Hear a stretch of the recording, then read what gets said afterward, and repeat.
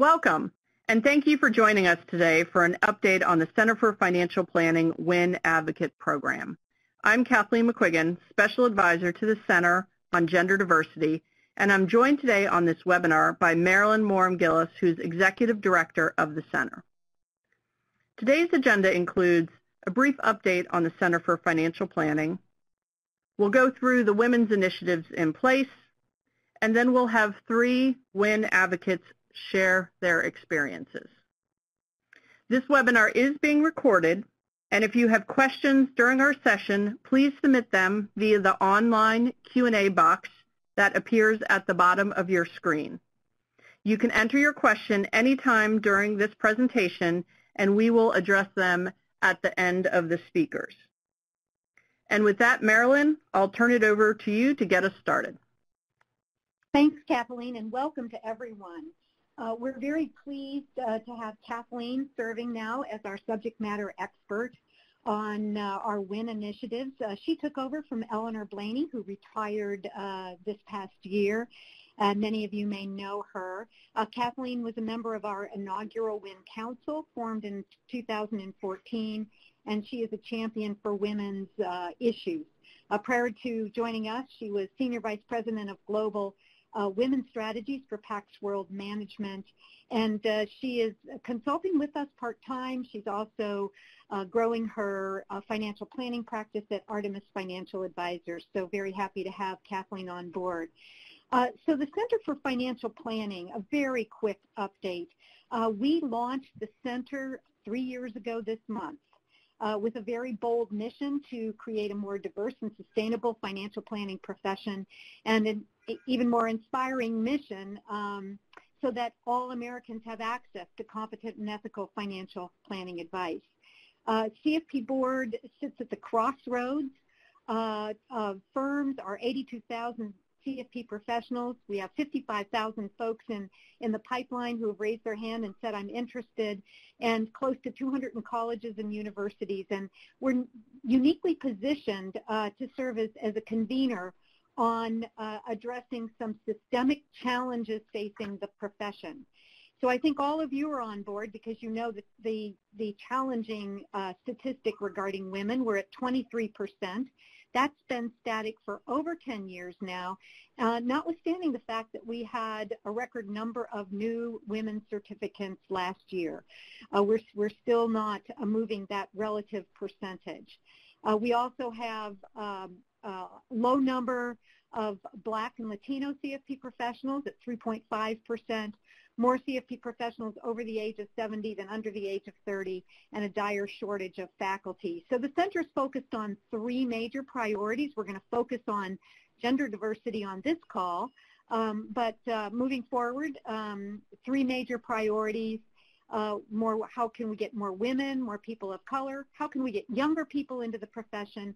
And then how can we build uh, the um, uh, academic discipline of financial planning such that uh, our programs achieve more recognition and, and uh, stature in our colleges and universities so that students uh, can be attracted to our programs and graduate from our programs. Our focus is going to be on, uh, on this call, certainly on the uh, WIN initiatives, but we made a significant step forward uh, in advancing racial and ethnic diversity uh, this year. We established a diversity advisory group, uh, conducted research similar to the research that we did in gender diversity. We presented that research uh, and a um, and released a thought leadership paper at a diversity summit that we just held last week in New York City. Uh, and uh, I can say that the over 300 attendees at the summit uh, were extraordinarily engaged and motivated uh, towards action to uh, advance diversity in the profession. Uh, so we are uh, happy to send you uh, a copy of the thought leadership paper after the call and would encourage you to take a look at that as well. So let me um, hand it back over to Kathleen who is going to talk in a little bit more detail about the women's initiatives of the center. Thank you, Marilyn. The Women's Initiatives were the Women's Initiative was established over five years ago. Under the leadership of our WIN Council Chair, Nancy Kitzner, and our Advisory Council, which you see pictured here, which is comprised of experts in the areas of women's issue, issues, diversity, recruitment, as well as leaders from the financial planning and advisory firms, and also includes CFP board registered programs.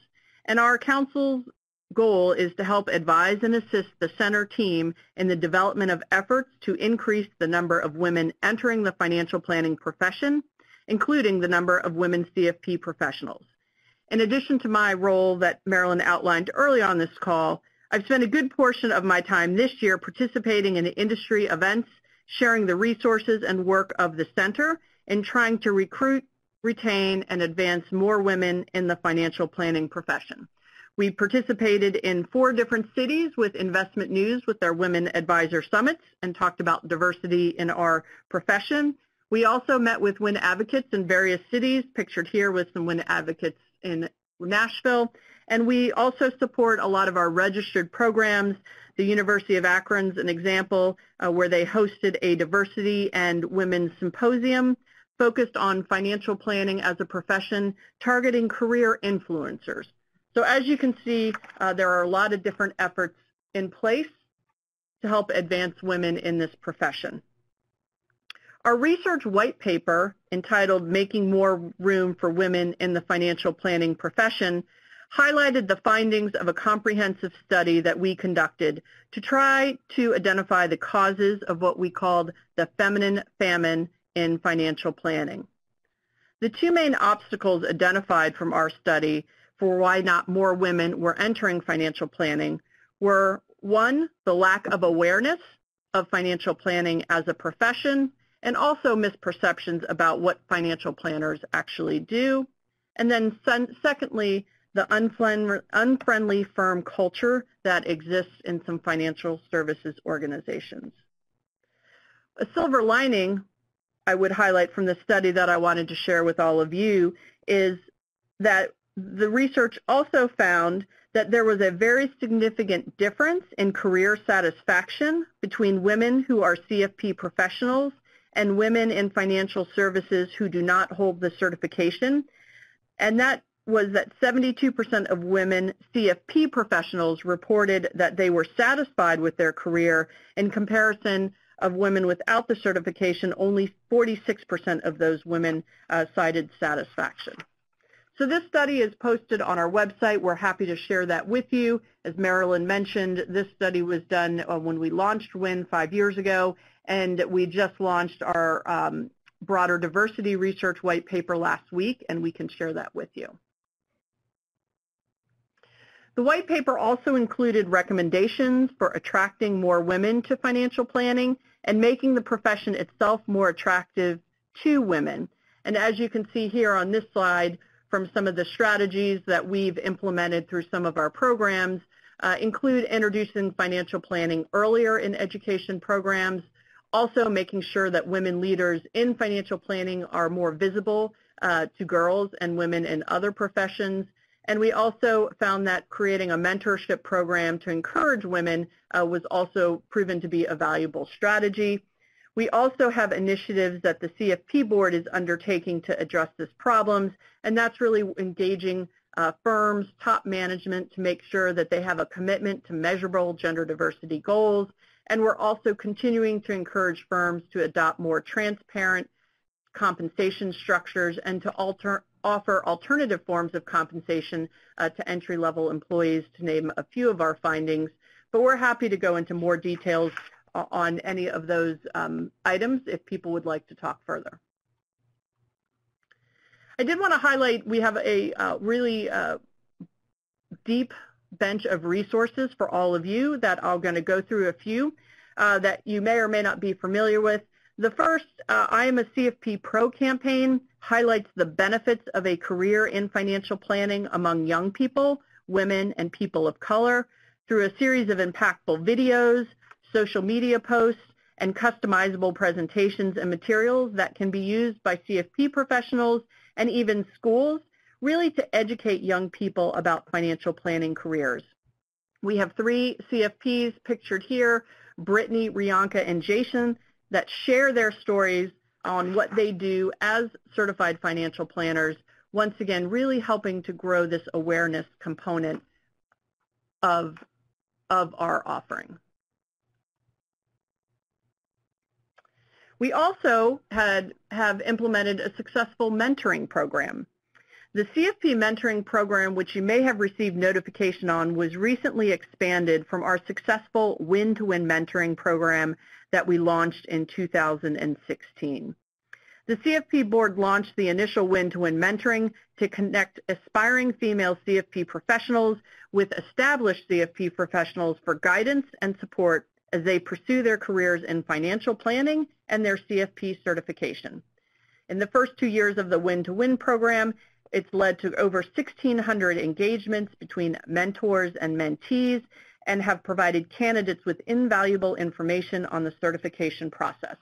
Given the success of the Win-to-Win program, as I said, it's recently been expanded so all CFP professionals can serve can serve as mentors and mentees. Um, our mentor, menteeship is now available to everyone as well. And as you can see here, cfp.net slash mentor is where you can go to find more information as well. A new initiative that we recently launched last year specifically for women was in the area of workforce development. Our financial planner reentry pilot program helps support firms in establishing return to work internships for experienced professional women looking to re-enter the workforce. The first cohort uh, was launched last year, and that included 11 paid return-to-work internships, which resulted in 10 interns converting to full-time employees. We are launching our second cohort this month with seven firms, and we're very excited about this program. We are also encouraging individuals and firms to utilize the Career Center. This is this is something that has been put in place where we have more than 2,800 employers that have posted jobs, more than 3,200 job seekers having posted their resumes, and more than 4,600 jobs that have been posted. I also uh, will highlight we have a biannual online career fair providing employers and prospective employees with an opportunity to, to recruit and apply for positions virtually as well, and we've gotten a lot of good feedback on both of those programs. And now I'll turn to really kind of the focus of this webinar today, which is our WIN Advocate program.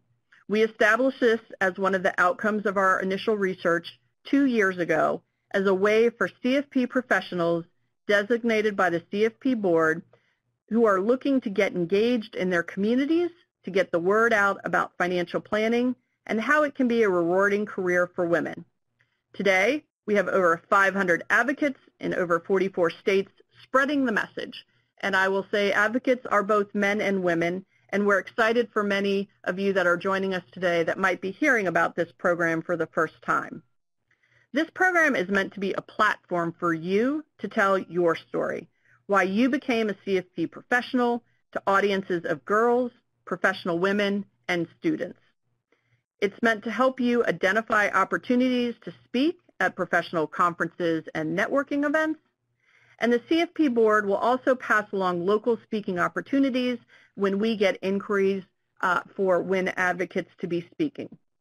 We also use this program to help raise awareness within your own firm about WIN and the importance of gender diversity in our profession.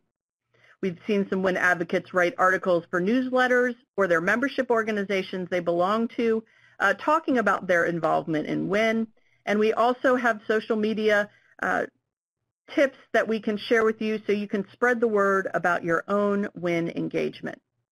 On this slide, you'll see three of our partners that we've been working with Forte Foundation, which is an organization that focuses on launching women into successful, into fulfilling and significant careers in business. Their community is comprised of undergrad, pre-MBA, and post-MBA women of over 100,000 strong.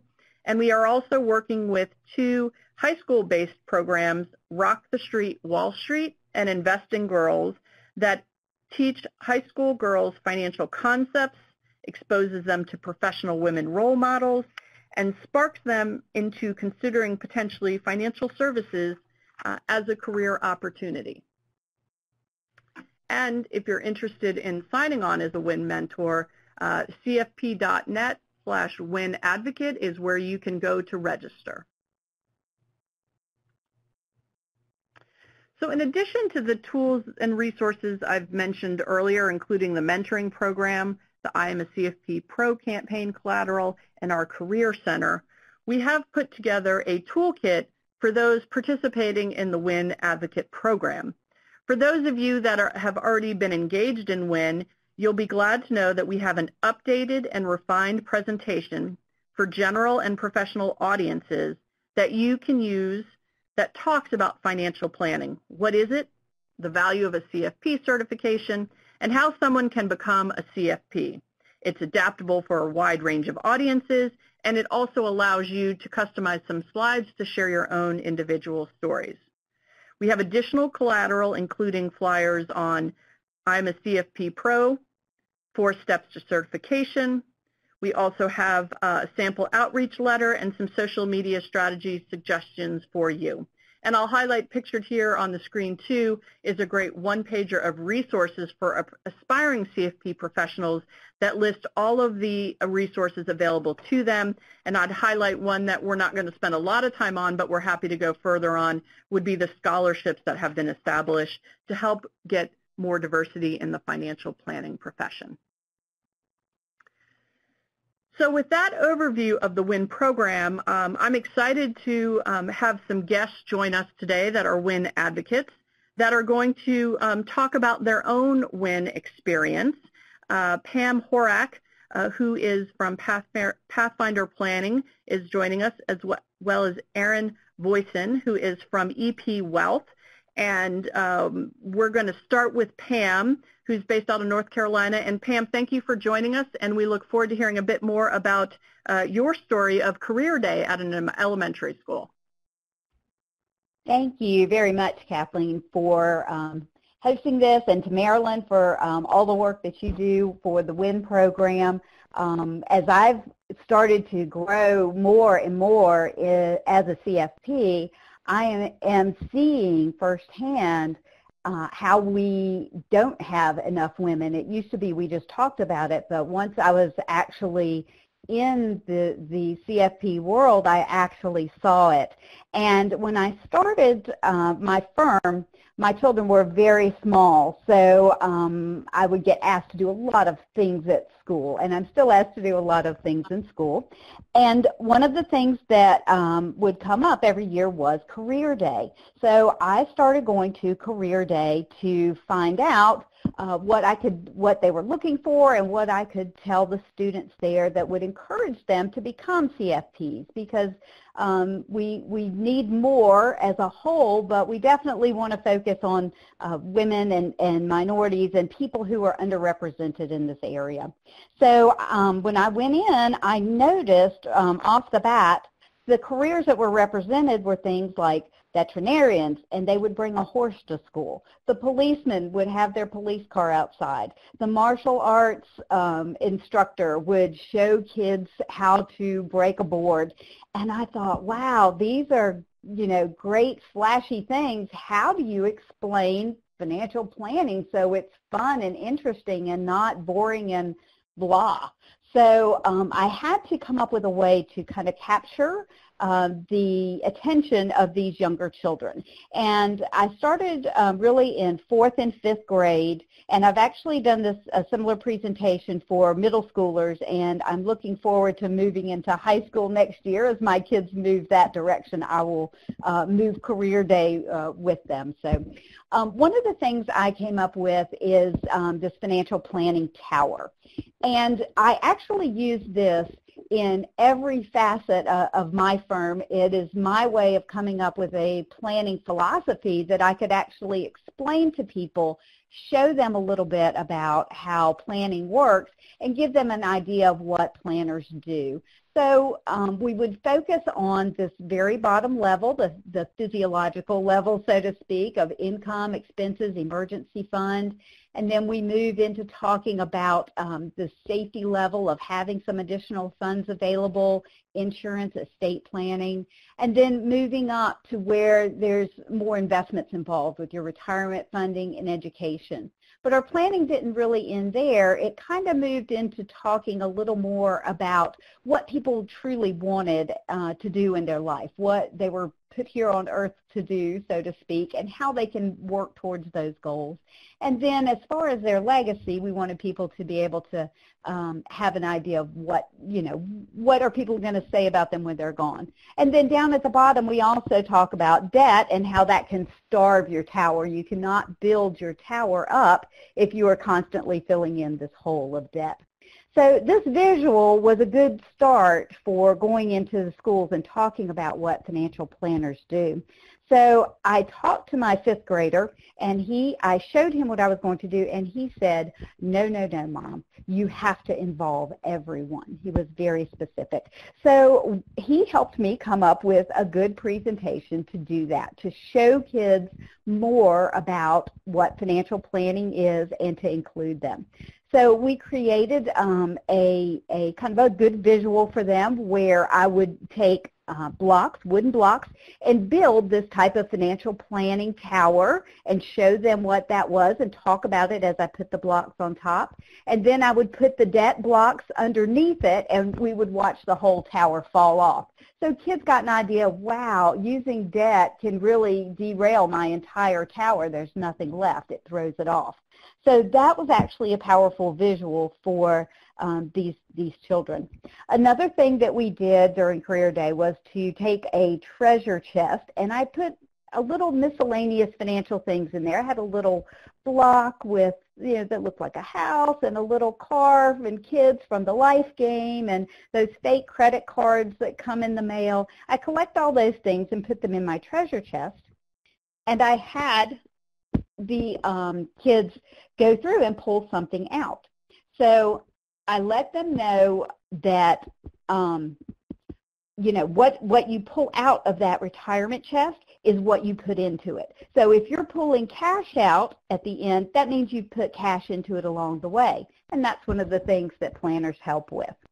So I also had them um, shake their magic eight ball and ask them some questions uh, about that. I would ask, do you have enough money to pay all your bills this month? And they would shake the magic eight ball and it would say, sources say no. So we would talk about some of those and those were fun. Um, but I would let them know, you know, planner helps people to determine their goals and you, more than often, you know, you need more than just a yes or no answer for things. And then we would also roll the dice to talk a little bit about um, risk and show them, you know, oh, can you can you beat the bank, so to speak? Um, if you roll more than my number, then you win. How did it feel when you won? How did you feel when you lost? Sometimes that's the risk we take. So we talked about that. And then to wrap up, we talked about the um, how to become a certified financial planner, and we focused on the four E's, education, exam, experience, and ethics.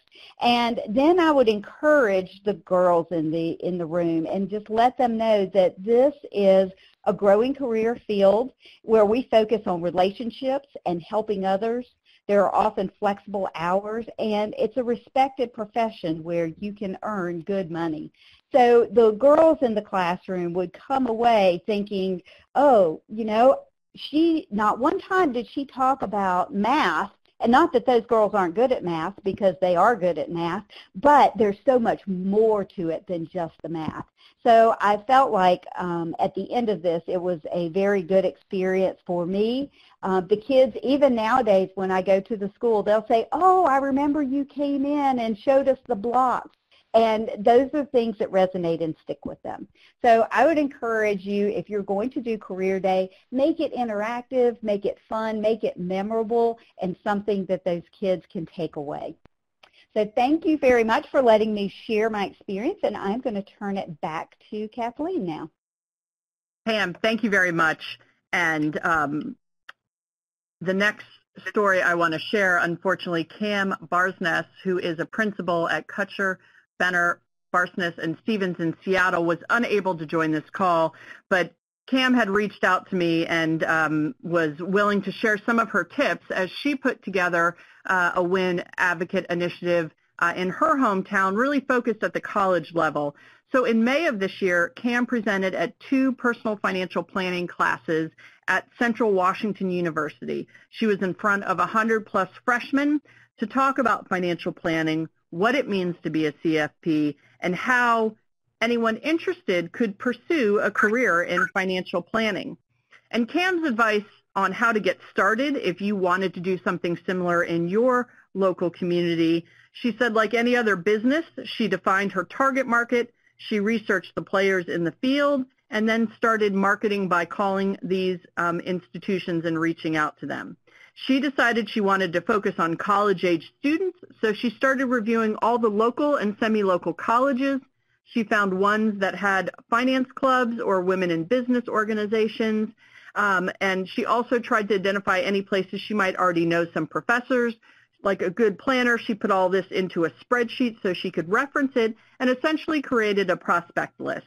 And the first school she reached out to was Central Washington University, and she said she um, did so because they had just recently launched a financial planning major that was certified with the CFP board to fulfill the education requirement. And so what she did is we help her customize an email introduction, and she said like a good like any good marketer, she spammed the entire finance department, and she got two responses, one from a professor and one from the chair of the department.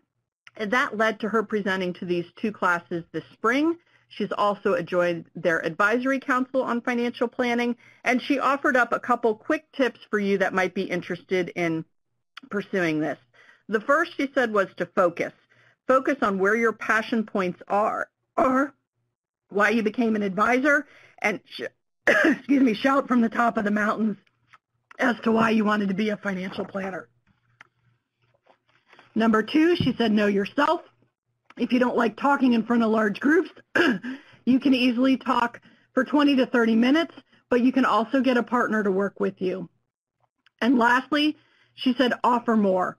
We all know through life the personal interaction and mentors have changed us.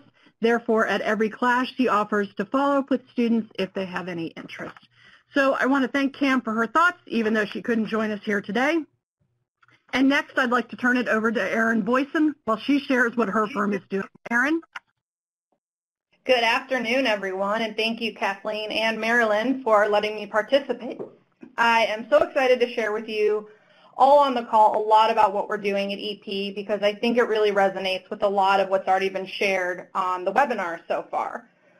So, you know, what we started a little over two and a half years ago at EP was our Women's Initiative and we're a rapidly growing firm. And with that came just a lot of, you know, growing pains. But what we really found were that the women of our firm needed, you know, they needed an outlet. They needed a space to come talk to, to feel like they had support, just to share what's happening at the firm, ideas they had. So it started with a lunch, and it has blossomed into a full initiative, which I'll talk a lot about what we do. But our three kind of main goals are to focus on our colleagues, our clients, and our community.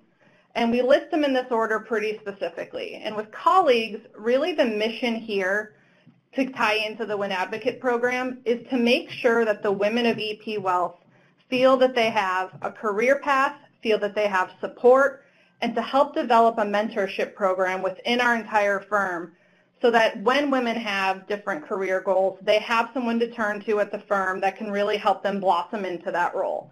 And an example of that came out of our women's initiative. It was one of our first lunches, and Lynn Ballou, who's one of our advisors here, asked the group, you know, has anyone here ever thought about being an advisor? And one of our client service associates, you know, kind of sheepishly raised their hand and said, you know, I actually have thought about it.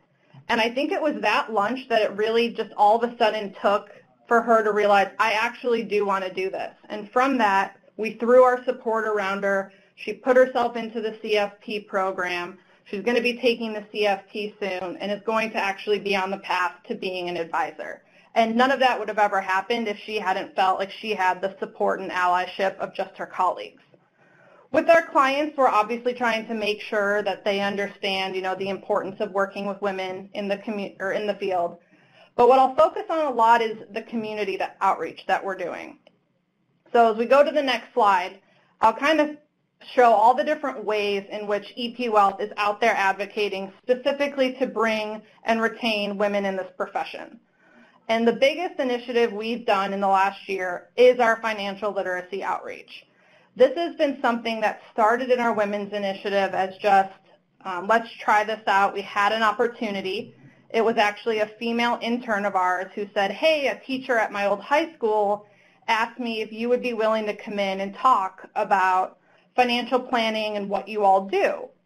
So we took it to the Women's Initiative and said, who's interested in doing this? And there were about seven of us that raised our hand. So we kind of ad hoc just threw a presentation together, built some handouts, and went to this high school and did a presentation. And the excitement and adrenaline that we felt after leaving that presentation was one that, you know, I can only describe to you if you've actually go through the process yourself because it was really exciting. And it was exciting for a lot of different reasons. One, it was exciting because we got to explain as females why we're financial planners, why we got into this industry, why we're doing what we're doing. We got to talk about financial literacy, which is just something that is missing in so many schools today. And three, we got to hear from the students, you know, what are they, what questions are they asking? What's on their mind? And from that, we decided that hey, this is something that not only are we passionate about, but there's a need for it. So we reached out to the entire firm and just said, hey, if you have a connection in a school, you know, put us in touch with them. We'd love to present our financial literacy outreach. And so one program quickly turned into 10. And it was really just a snowball and a domino effect. And with each presentation we did, based on the questions that we were getting asked, we kept adding to our presentation. So if we realized we didn't ask the right, you know, have a right slide, we added it to the next one. And so now going into this school year, we were better prepared. So we actually, we did programs for everyone from first grade all the, all the way to high school. So we definitely had to cater the presentation kind of similar to Pam did.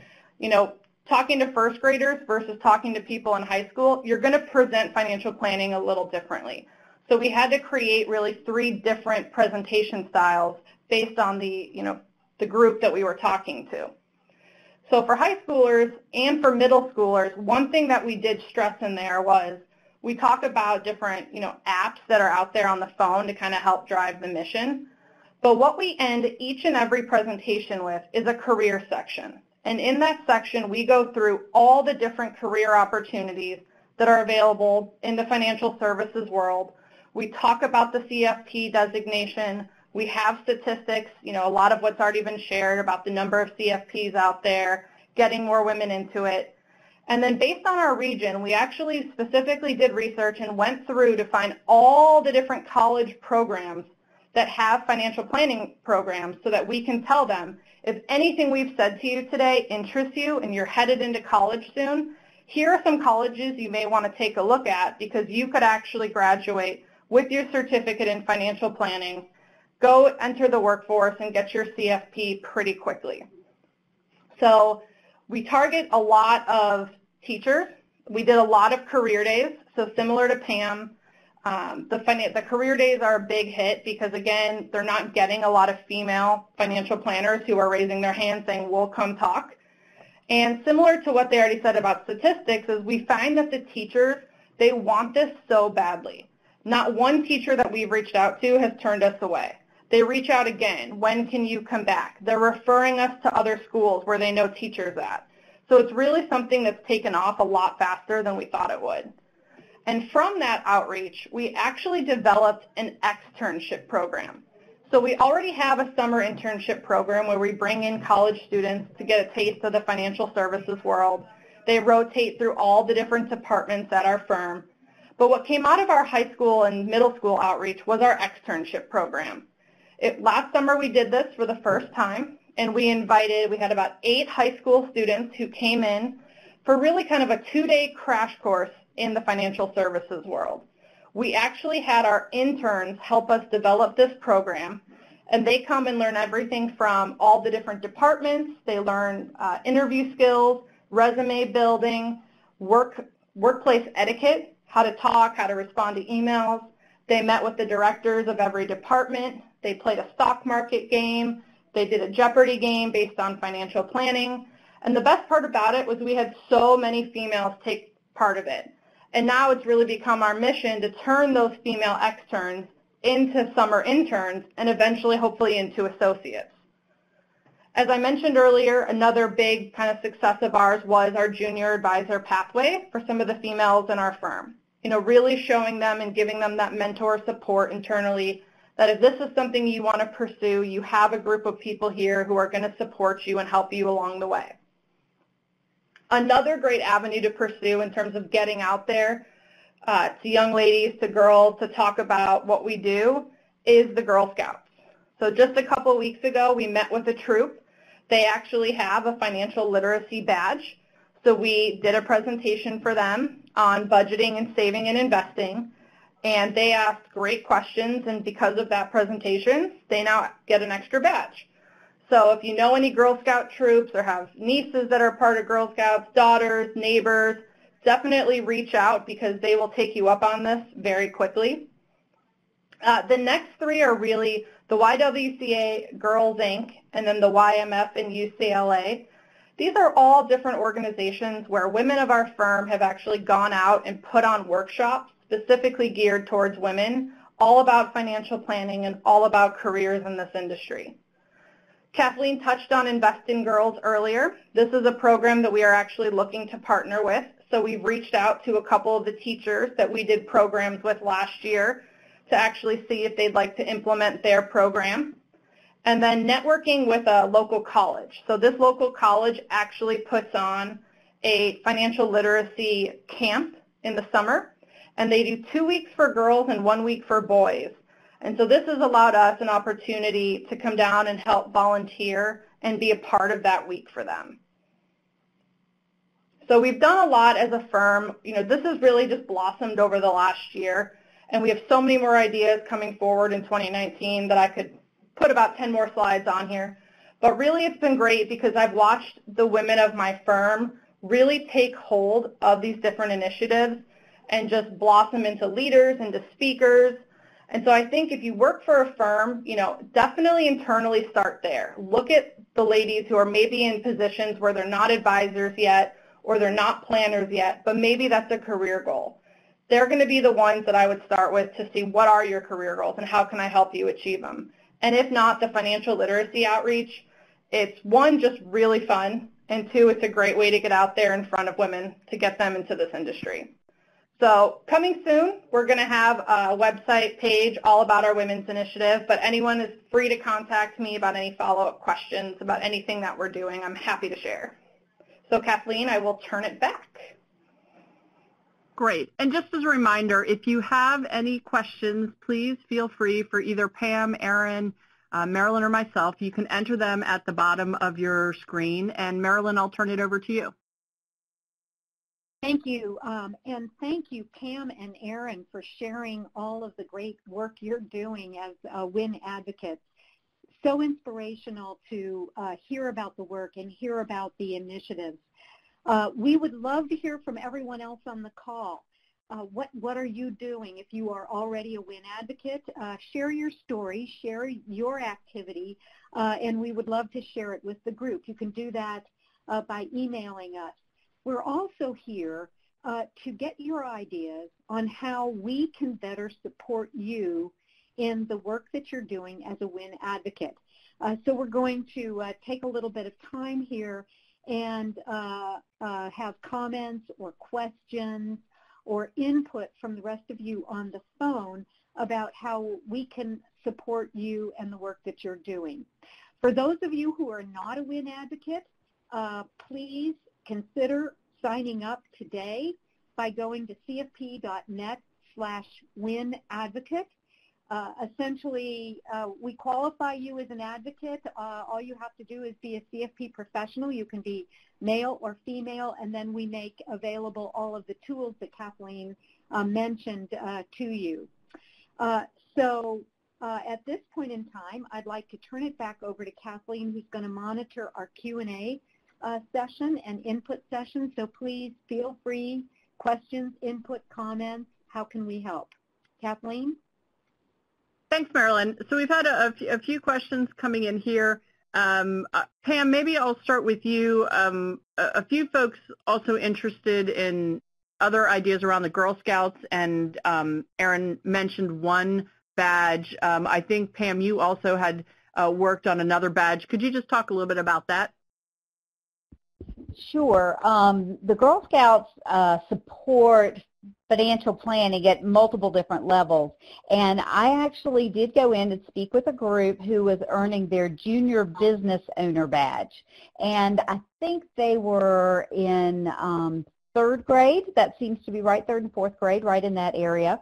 And um, so we just did a, a one hour, it was basically a big discussion where we talked about the CBAs of business. So instead of ABCs, we turned it around a little bit. And um, it was more focused on business than it was on um, financial planning as a whole, but planning always plays into that. So we talked about C, we talked about clients, that was the first thing they needed. And then B was for business, how are they going to run their business? And then A was for advertising or marketing. So those were the three big things that we discussed.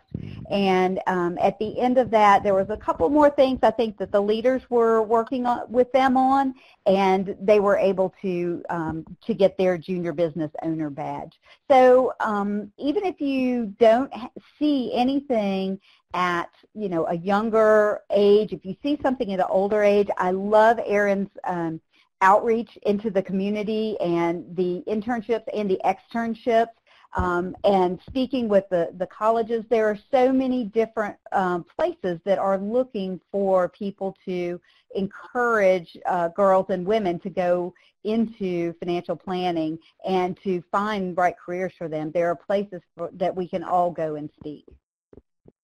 Great. Thank you, Pam. Erin, um, someone's written in that, that they are are tasked with creating a diversity and inclusion effort in their own firm and looking for a place to start. Uh, you've put together a, a, super comprehensive, very detailed plan. Um, any advice for if someone's looking to just maybe start and invest in her or invest in women effort or even just a broader diversity and inclusion conversation? How, how did you do it at your firm? I mean, we really started, you know, with just all the women of our firm getting together and sharing ideas. And it was very just kind of ad hoc for the first two years, just us getting together, putting things in place. We just more recently actually finalized it and kind of put positions in place. But we did look to the CFP board um, for a lot of different ideas. We talked with different firms. You know, as we went to different conferences, we were picking people's brain. You know, if they if they said they had a women's initiative, we were just doing a lot of kind of research and development, like what did you do, how did you start. So we really went to other people to kind of see what are they doing, how could we incorporate it, and then what ideas can we come up with. And it started with all the women of our firm. So everyone had a voice, everyone had an opinion. So a lot of what we've done have come from everyone in our operations team, compliance, marketing, uh, client service. We took everyone's thoughts. Great. Thank you, Erin. So we're just about out of time. Um, Marilyn, I'm going to turn it to you for the last question and then have you wrap up. But um, could you maybe just talk about just the center's website and, and the resources? Um, there are a few questions about, A, the copy of the slides, which we will definitely share with everyone, post this in an email. But, but if people are looking uh, for more information about promoting diversity and women in their careers, what does the center have to offer them? So I would welcome you all to go on to the Center for Financial Planning slash WIN uh, and uh, uh, the resources that we have there. I think that probably a really good place to start uh, is to download our WIN white paper. Uh, Kathleen mentioned the research. There's a lot. There are there uh, there's a lot of uh, research that we cover in that white paper, but more importantly, uh, the um, recommended initiatives uh, for people to engage in. So I think we've got uh, a, a, lot of resources as well as, as, as the research. Um, I see a question here, uh, what, are, what is the percentage of Asian CFPs? uh, it's roughly the same as the um, African American and Latino, 3.5%. Uh, so um, that's and and and so a lot of people ask us, well, you know, we started with our WIN initiative and then we went to focus on uh, racial and ethnic diversity with an initial focus on African American and Latinos. And the reason is is because that is where the real gap is. That is where the biggest gap is. Uh, but certainly there are other areas that we need to work on as well. And um, uh, so uh, thank you for that question. Um, Kathleen, is it time to wrap up, or I, I can't see from my screen if there are any additional questions. I think we've gotten all the questions, and, and we'll go ahead and wrap up, so I'll let you close us out, Marilyn. Well, let me just say thank you to everyone who joined this webinar. For those of you who are WIN advocates and you're out there uh, spreading uh, your story, thank you very much. And please uh, feed your stories back to us uh, at uh, by emailing us at win at cfpboard.org. We really want to hear from you. And for those of you uh, who are going to be signing up, thank you. We appreciate it. Uh, the time and talent and energy and passion of our, our particularly our women CFP professionals throughout the country uh, is just uh, contagious. And I am so gratified and the you know, spreading the word is really how we're going to really in, in, encourage young women uh, to consider this profession. And I would be remiss if I didn't close by saying that all of the programmatic initiatives, our women's initiative, our, our diversity initiatives, and everything that we're doing at the center um, is um, due to the very generous contributions uh, that we receive uh, from our sponsors, major firms across the country, large and small, as well as individual donors. And so if you are so inclined uh, to support us, we would appreciate that financially. We'd appreciate that as well. And you can do that at Center for Financial Planning slash donate. So uh, I just want to thank you uh, for your engagement. Thank you for your time. Thank you for uh, spreading your stories and uh, and please be in touch with us and let us know how we can help. Thank, Thank you, Marilyn. Today. Thank you, Marilyn. Thank you, Pam. Thank you, Erin, for sharing your stories. And thank you all for joining us. Uh, this concludes the webinar. We will send out copies of the slides, and we will have recorded this as well if you have interest in sharing it with other colleagues. Thank you very much, and have a good afternoon.